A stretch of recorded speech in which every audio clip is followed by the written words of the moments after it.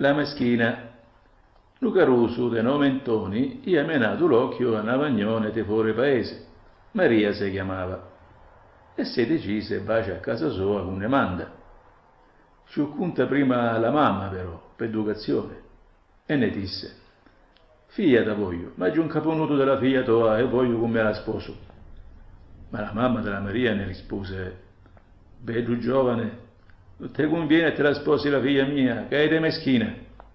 C'è bene dire, domandava Luca Rusu, che non sape fare niente, figlio mio. Guarda che te trovi ventuto, ci te la sposi. Non te pigliare pena, che io ne voglio bene lo stesso. Piano piano si impara, no? Guarda che è muto meschina, disse intorno alla mamma. E io ne voglio bene lo stesso, tornavo a ripetere Luntoni. Insomma, alla fine dei conti, Luntoni era proprio un caponuto della Maria e se la pigliavo. Si scusava, grazie di Dio, la sera si colcara e la mattina lo ciscivo. Ida si fece i capelli, si lavava la faccia e si assettava arredo la porta o guarda da fuori la gente che ci veniva. Ma non giustava ietto, non scopava in terra e non lavava, non faceva niente insomma. L'untone intanto gli ha guardato lo ciuccio, gli ha montato su su e gli ha pigliato la strada con bacia fuori e fatia. All'occhio tardo la mamma dell'Untoni ci ubice a ci sta facendo la nora e bitte che stia già settata innanzi alla porta e non sta se preoccupava manco con cucina per lo marito. Lo figlio mio, diciamo, quando viene di fuori, come face se non trova qualche cone di cucinato? Quando vitte che la nuora non si risolvia proprio con cucina, c'è fece?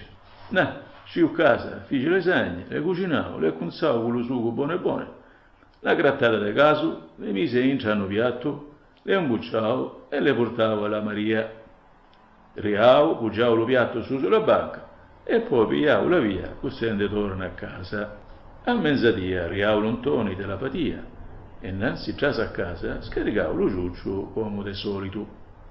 La Maria però stia sempre settata innanzi la porta e non seguito lao manco quando vitte un cane giasire in giù casa che saltava su sulla banca e se incafuggiava le sagne con tutto il cuore. Ida mo vidia lo cane che si mangiava le sagne, ma non si risolvia proprio queste azze. E lo cane però ne faceva «Za, za, su signora non mi posso za». Ma lo cane manco per la capo. «Za, za, che lambesti faccio la signora». «Za, za, su signora e non mi posso za» ma Lucane si era leccato tutto lo piatto ormai.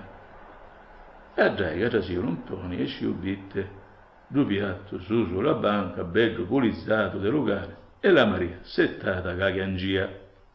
Beh, disse, e c'è cosa hai di qua?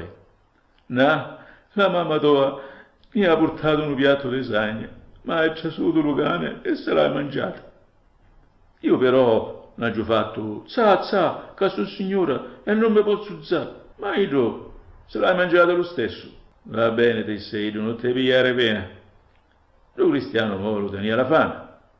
Ma se era cimolava uno stozzo di pane, e scivo, se lo mangia, arredo a casa, solo su, grazie a Dio. E la Maria? E pure Ida mo la tenia fame, ma non c'era niente con mangia. E diceva in giù di Ida, ah, qua, sorta mia, non si mangia sorta mia. Ma non vede manco che si zava, aspettava mo che lo marito ne a portare con mangia. All'ugrai, la Maria si zava, si lavava la faccia, si fece i capelli e sciù si setta intorno al redo la porta, sempre mo guarda la gente che ci venia. La sogra, pure stafiata, quando vitte la nora che stia sempre settata senza fazzagnezzi, le portava un torno a un piatto di sagne e se ne tornava a casa. Ma all'occhio tardo, ecco che facciase di nuovo cane, sale su sulla banca e mentre che si inghiottia le sagne, la Maria ne faceva «Za, za, su signore non mi posso za». Ma lo cane manco per la capo, sai? «Za, za, lambesti che passa la signora, za, za, che su signore non mi posso za». E nel frattempo riavo marito, lo stesso capiato. Lo cristiano si aggiustavano poco di pane e se lo mangiavo solo solo grazie a Dio. E Ida mo china dei chianti è morta di fame. Allo terzo giorno la sogra, sapendo come c'erano le cose, ne portavo le sagne, ma aspettavo che torna lo figlio suo dalla patia e con se settant'aula, che se no a parere, se li a mangiare intorno a Lucane. Da sotto lo marito, la Maria, quando vitte lo piatto su sulla banca, si è un tavola e semenava con mangia per la fame. Ma io appena assaggiato lo primo cone, che lo marito ne disse, alto, per scene, disse Ida, che io sto moro di fame. Quante servizi hai fatto oggi? No, ma giù lavata la faccia e mi giù fatti i capigli. E per quello che hai fatto ti bastano con solamente, disse io. Uh, sorta mia, dice la Maria in Ciadeita. Ma al quarto giorno la Maria si zau depressa, si lavò, si fece i capelli e poi scopò casa e aggiustò lo ietto. Vedendo questo, la sogra ne si innanzi lo figlio e ne disse «Guarda coci, mogliere, sta si comporta buona. Prima hai scopato casa, poi hai aggiustato lo ietto e sei settata a retto la porta solamente quando hai spicciato. Quando l'Antonio trasì a casa, trovò su sulla banca lo piatto della mamma sua e si mise a mangiare, paro come ieri sa. La Maria, che appena ha provato ciaccone, quando non torna marito sa, alto, per scene, che sta moro di fame. Quanti servizi hai fatto oggi? Ma ci fatto le capelli, ha giù scopato in terra e ha giù aggiustato lo ietto. E allora te bastano ciacconi. E devo innanzi, quanti servizi facci? Tanti cuni te mangi per tenere lo conto per ogni servizio che facci, metti una pagliuzza su sulla seggia che sta arredo la porta, così quando torno misuro le servizie. Allo quinto giorno la Maria ormai non vedeva più per la fame. Si alzò presto sta fiata, senza manco se fazza le capiti e si a fare terremoto in giù casa, sai? Poi mise la pignata innanzi lo fuoco e come cia cia fiatava con una sestuta, da bella pignata de pasuli che se binchiano. E la sogra intorno nel sia innanzi lo piglio so uno dica Ah, oh, c'è sta setai proprio di fare la Maria, sai? La fame è la riata.